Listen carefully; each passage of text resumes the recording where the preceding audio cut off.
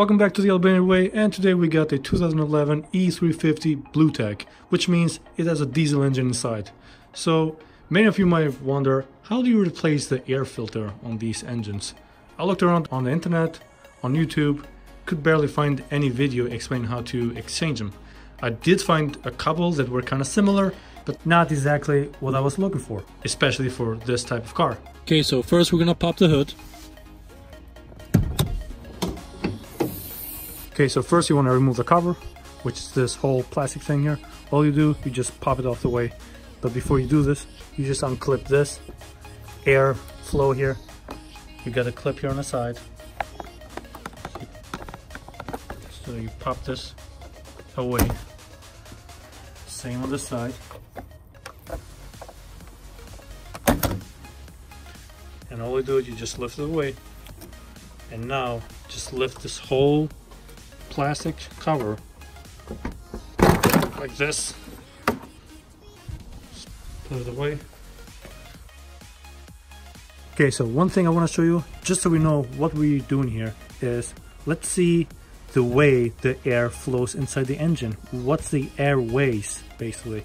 So the air comes in here, goes through this pipe, all the way down there, and it goes right below the air box or the air filter right here.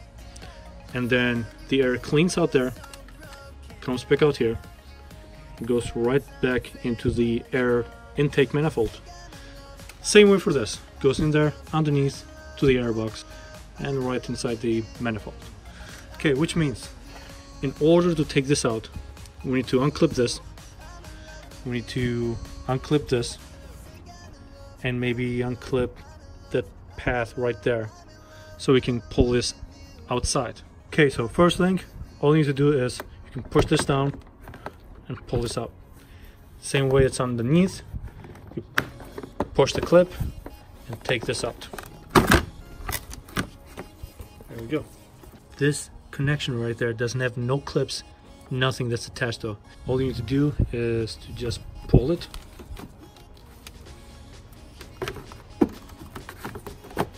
wiggle it out and here we go. Easy as that. Put this away. Same with this.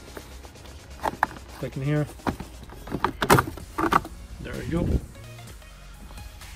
And we need to undo this screw to loosen up the connection here.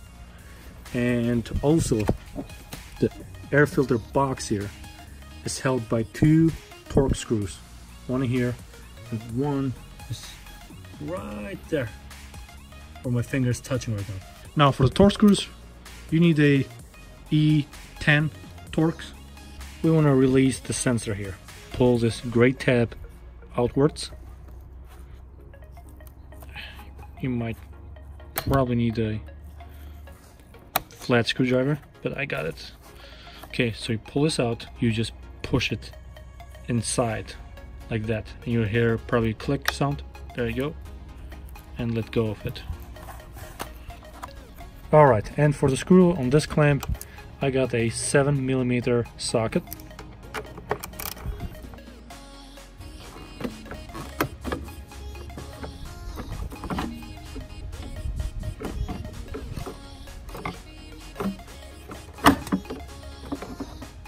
Same exact thing over on the side.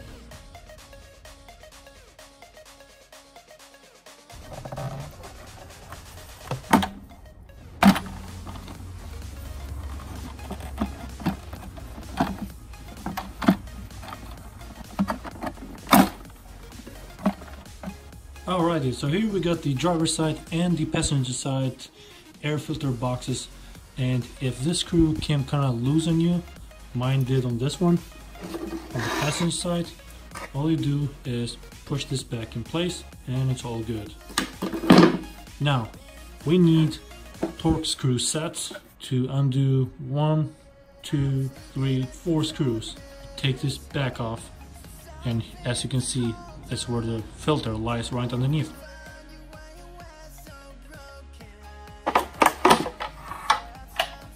Let's pop this off. Here's our new one. You can see the difference.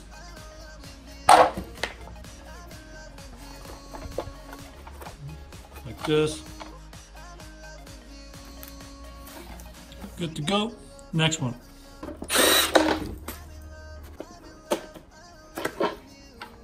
Compared to this, yeah, you can see the difference.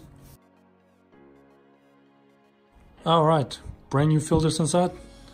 And let's reverse everything what we did.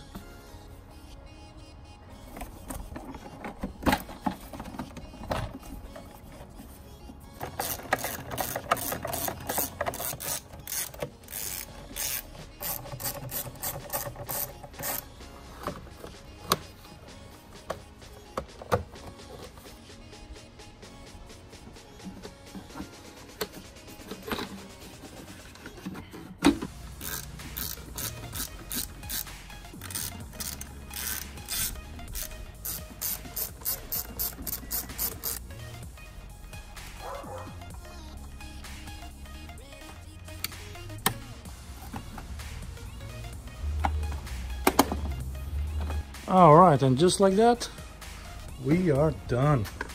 Just put this above the engine. Make sure this is popping through there. And once in place, you just pop it in and it's firm. And we grab this. And you can see the bottom lip here. It goes in there first and push this top on both sides. And this is it all done. Now your car can breathe better and possibly get a little bit better gas mileage. Well folks this is it. Thank you for watching and i catch you next time